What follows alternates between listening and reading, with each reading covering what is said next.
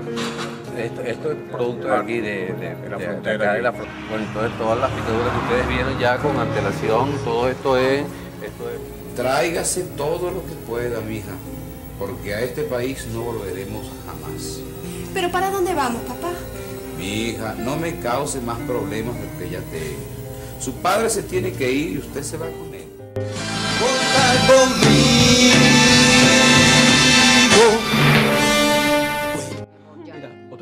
Importante, ¿no? ¿Qué es lo que ustedes tienen que hablar que yo no puedo estar delante? Ay, nada, papi, nada. Lo que pasa es que yo... que le saca la piedra cara, carrerita de la pachigüira, a tremenda catira se cae. La alegría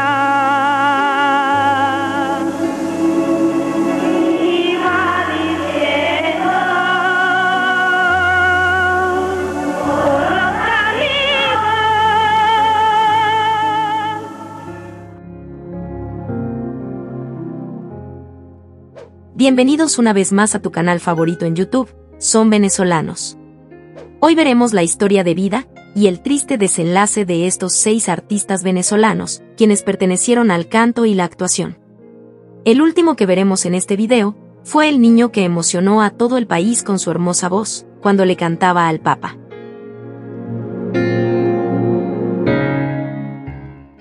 Comenzamos con Marcos Campos. En más de tres décadas de carrera, Marcos Campos hizo también más de 15 obras de teatro y 16 largometrajes, así como participaciones especiales en el recordado programa humorístico Radio Rochela. Bueno, ¿y estos tipos cuándo llegarán, mano? ¿Qué va a será y no llegan? Qué broma, vale.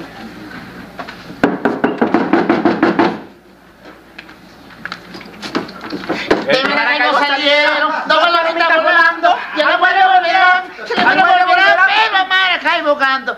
Campo me dio una cinta y yo... Rosa me la quitó. Asimismo, estuvo un tiempo como miembro de la Escuela de Actuación de Radio Caracas. En el canal de Quinta Crespo destacó en telenovelas como Dulce Ilusión, Reina de Corazones, El Desprecio y La Mujer de Judas, entre muchas otras, antes de pasar a Venevisión. El actor nunca protagonizó las telenovelas donde logró destacarse, pero se mantuvo activo casi de manera ininterrumpida en la pantalla chica, hasta que hace unos años decidió retirarse y dedicarse al teatro. Falleció la madrugada del 3 de abril del presente año, informó la periodista Carmela Longo. El artista, quien tenía 66 años de edad, murió en su casa, en el sector La Pastora, Caracas. Benjamín, aquí hoy lo estamos haciendo realidad. Es un placer estar, por supuesto, contigo, Marcos, compartiendo por primera vez en una telenovela. Juan Manuel Montesinos. Con Araceli. Es porque a mí me interesa relacionarme con ella. Porque parece ser que es una mujer mm, de confianza de los Martínez.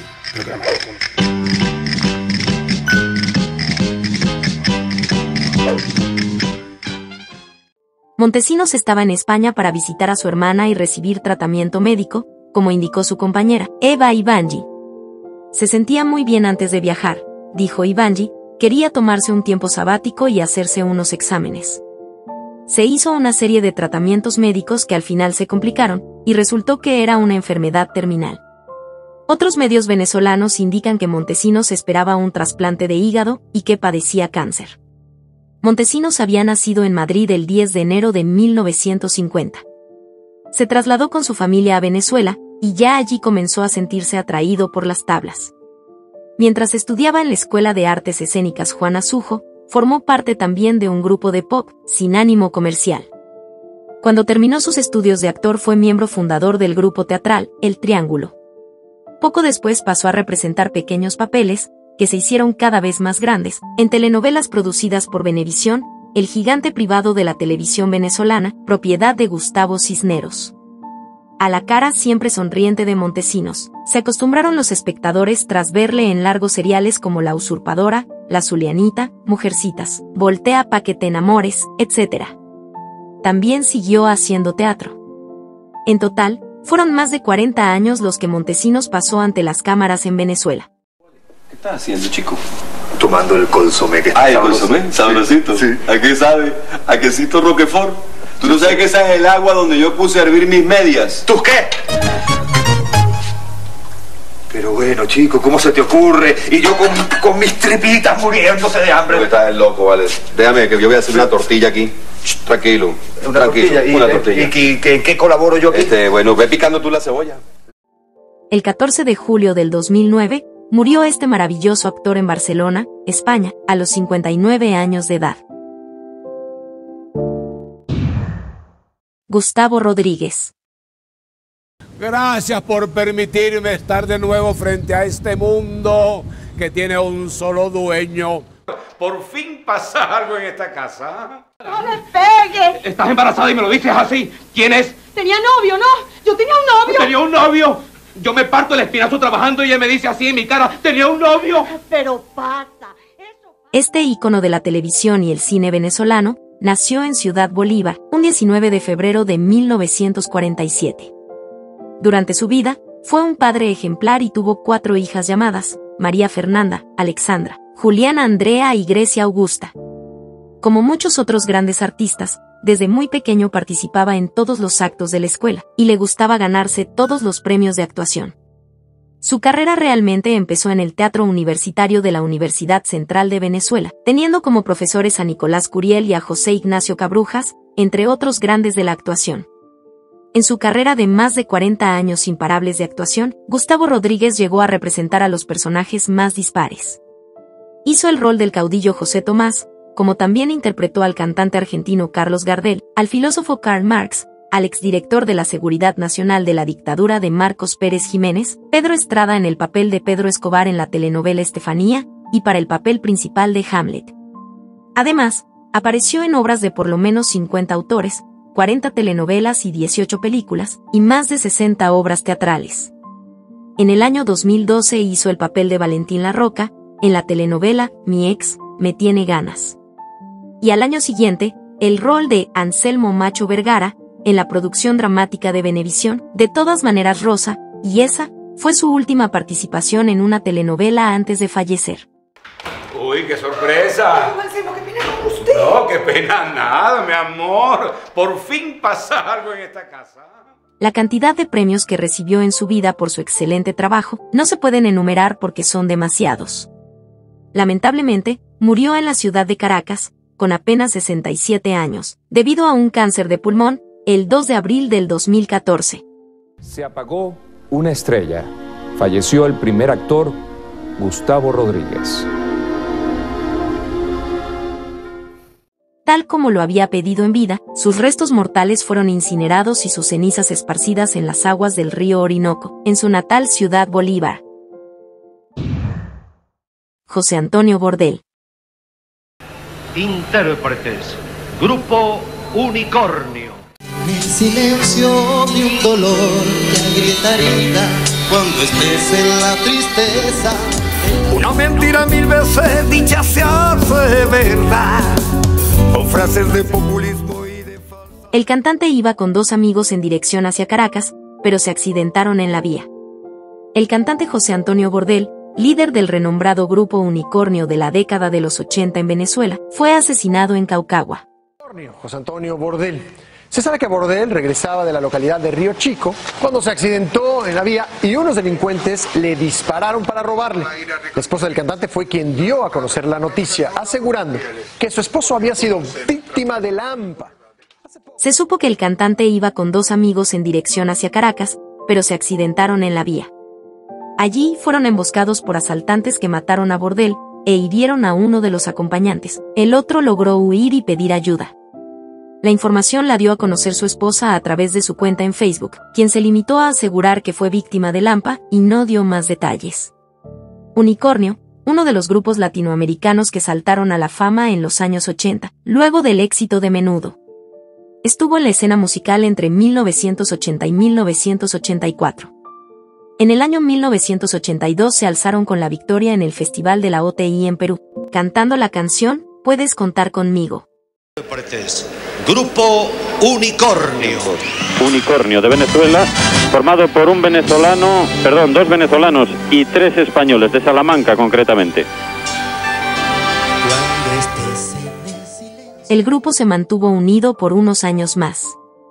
Luego de su separación, Bordel grabó varios discos e interpretó varios temas de telenovelas famosas, como Cassandra, por la que su voz se dio a conocer en casi todo el mundo. Espíritu del viento, hija de la luna, halo de misterio, salvaje es tu belleza. María Rivas. El Manduco.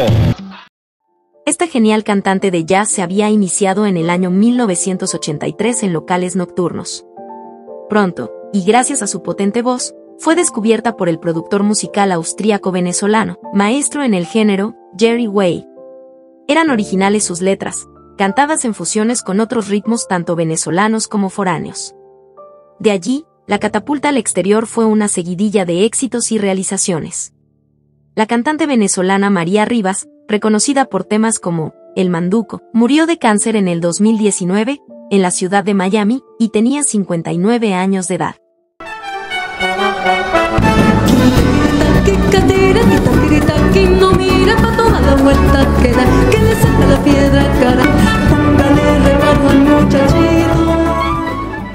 Rivas inició su carrera en 1983.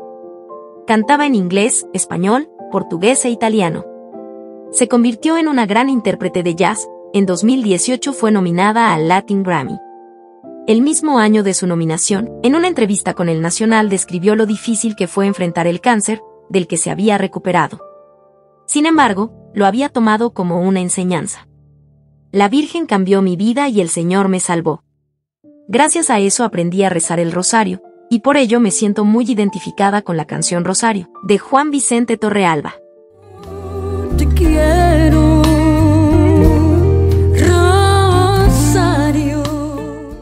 Estoy emocionadísima porque, además, este es un disco que yo llamo post-mortem, pues lo hice en un momento importante de mi vida en el que estuve mal de salud, recordó la cantante en noviembre de 2018.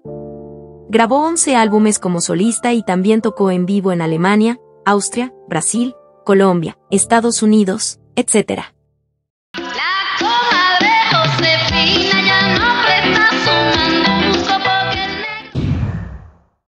Finalizamos con Adrián Guacarán. a los niños iba diciendo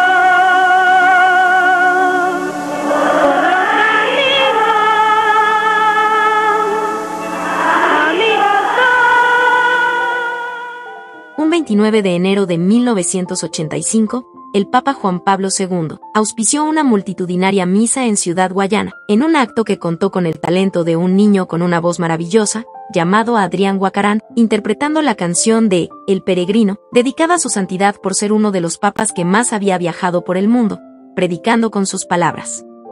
Hizo lo que muchos cantantes soñaban, cantarle a Juan Pablo II durante su visita y validar la ferviente fe que tenía en la religión. Este niño no sabía que apenas viviría hasta los 44 años, con muchos problemas de salud. Un talento que se fue, sin nunca haber sido valorado ni homenajeado, como era debido. De su canción de El Peregrino, se vendieron más de 100.000 copias, y logró que alguien le pagara una visita a la Santa Sede en el Vaticano, para visitar al sumo pontífice Juan Pablo II. Adrián continuó cantando en su inocente infancia, pero ya no con tanto éxito, debido a que la gente solo lo apoyó en el momento. Once años más tarde le dieron una oportunidad para trabajar en la política, y le abrieron las puertas para trabajar en la Asamblea Nacional, donde ocupó varios cargos en la parte administrativa. Con eso ganaba para lograr mantenerse económicamente junto a su mujer. Su carrera musical comenzó desde muy pequeño. Cuando apenas cursaba el kinder, participó en el Festival Canta Claro representó a Barlovento en el concurso y quedó en segundo lugar. Su familia insistió en que tenía mucho talento, y así lograron llegar a llevarlo a Radio Caracas Televisión, en donde pudo participar y concursar en el primer Festival Folclórico Infantil de Venezuela con Guillermo González. Allí sí logró obtener el primer puesto, y el premio fue un contrato por tres años como artista exclusivo del canal. Fue después de este concurso que logró participar en la ceremonia con el Papa Juan Pablo II en Ciudad Guayana, y allí obtuvo la fama que lo dejó marcado como todo un personaje de la sociedad venezolana. Apenas era un niño pero con un enorme talento. Luego de esa experiencia siguió con sus estudios de primaria y educación básica en Caucagua, pero siempre dedicándose a la música, logrando grabar dos discos durante los siguientes dos años, convirtiéndose luego en un artista exclusivo de Venevisión. Navidad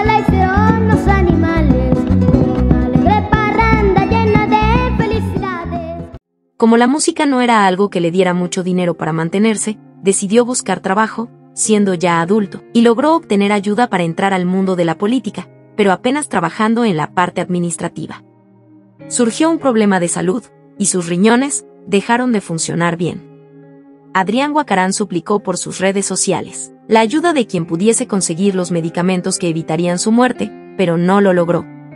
Falleció, lamentablemente, de insuficiencia renal por falta de administración de medicamentos básicos que no pudo conseguir.